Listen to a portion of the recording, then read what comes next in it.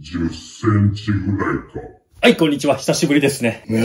えっと、最近ね、えー都市型イノシシ、アーバンイノシシ、なんかよくわからないけど、いろいろ出没してるので、改めてその危険性をね、えー、まあ、有害鳥獣駆除員、狩猟者としてちょっと伝えていこうかなと思います。まあ、熊も出てますが、熊は僕全然あの、知らないので、イノシシだけに限って言及しようと思います。えーっとね、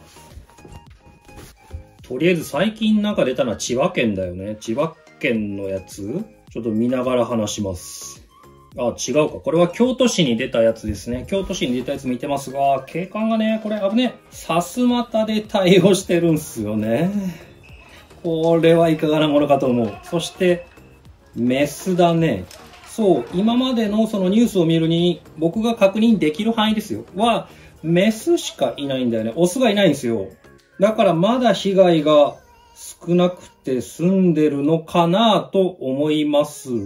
まあ、基本的に向かってくることはないと思うんだよね。よっぽどその子育てとか発情でイライラしてない限りはね。まあ、警察官が襲っていけば、それはもう向こうもね、防衛反応で戦うかもしれないけど、基本は逃げると思うんだよね。だから、まあ、でも街中に出たら逃がすわけにもいかないからね。そうね。僕が思うに、まあ、いろいろ警察官の方はご苦労様ですけど、一番有効なのは、まあまあ現実味があるかどうかはさておき、えー一番安全に一番相手を仕留めるってのを考えると、車で体当たりが一番いいと思いますね。ああもう車一台全部お釈迦にする、全部ってのは前の方ね。前の方お釈迦にする感じで体当たりが一番安全かなと思います。まあ車がどっかにはまっちゃうとかね、それはまた別問題として、それが1位かな。2位が見る感じにね、さすまたではないね。縦だね、この透明なシールド。これ透明じゃなくていいと思うんだけどな。透明じゃない方がむしろイノシシはびっくりして逃げてくれると思う。何せあの、あいつらは壁に向かって突進できないという習性を持っているので、向こうが見えない物体がそこに発生すると、そこに突っ込めないんですよ。だから黒い傘とかでも多分ね、突っ込んでこない。うん、だからなんだろう、あの黒い盾で、ここだけ空いてるやつ。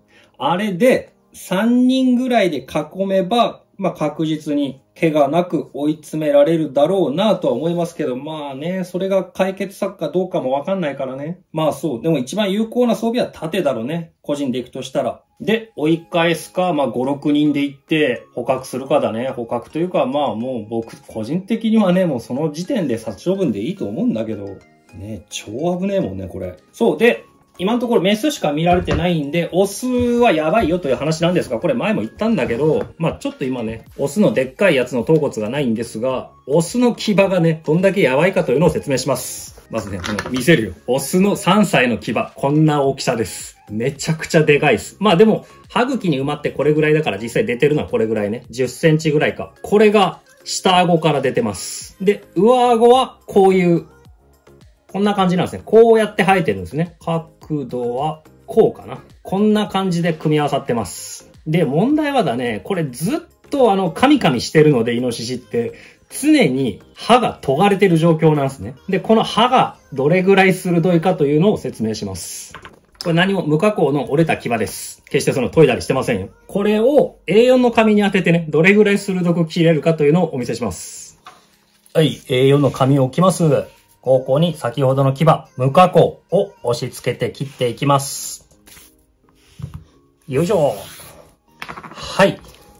わかりますかね余裕で切れます。これはね、うーん、実物見ないと、なかなか危険性がわかんないんだけどね、そのカッターみたいな鋭利な部分を持ったこんなごつい個体がよ、こんな風に生えてるわけ。やばいよね。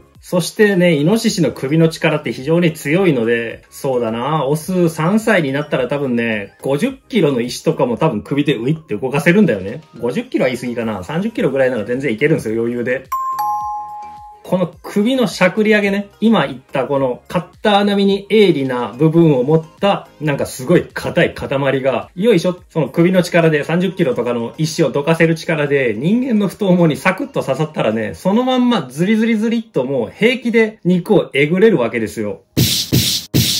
からね、まあまあ警察官の方がね、非常に分厚い、あの、装備をしてるのはわかるんだけど、多分ね、それは僕は軽く貫いてくると思います。で、一旦先っちょが入っちゃえば、もうズリズリズリっとさっきのカッターの刃で切れちゃうので、うーん、今のところね、オス、3歳以上のオスが、そのアーバンイノシシで出てないからまだいいものの、3歳以上のオスが出てきたら僕はやばいなと思うな。もう警察官が、対応できる案件ではない気がするんだよね。いや、むしろ、いや、そこで領有会読んだところで街中では発砲できないから、領有会もね、解決はできないんだけど、だからそういう意味では、警察官にも速やかな発砲許可を下ろすべきだね。しかも一人じゃダメだね。二人同時に同じ角度からあのね、拳銃の弾一発じゃ絶対倒れないので、むしろ余計暴れ出す可能性があるので、そうね、撃つ合図をして二人同時に射撃みたいなのをやれば、まだ安心かな安心、うん、どうだろうな。まあ、頭は狙えないと思うんだよね。首から上のバイタル、もしくは脊髄のどっかに当たればもう動けなくなるから、うーん、どうなんだろう。まあ、警察官の方にはね、頭が上がりません。まあ、各言う僕もね、身内に刑事が一人いるので、人事ではないんですよ。まあ、刑事は呼ばれないか。あ警察官だね、呼ばれるのは。うん。まあ、なんか他の案件では、警察官が銃を構えているみたいなのもあったから、一応発砲許可出てるのかなどうなんだろうおうこれか、名古屋の街中にイノシシ出没、これだな。